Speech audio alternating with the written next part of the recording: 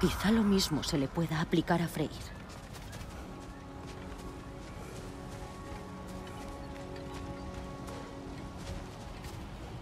Hmm.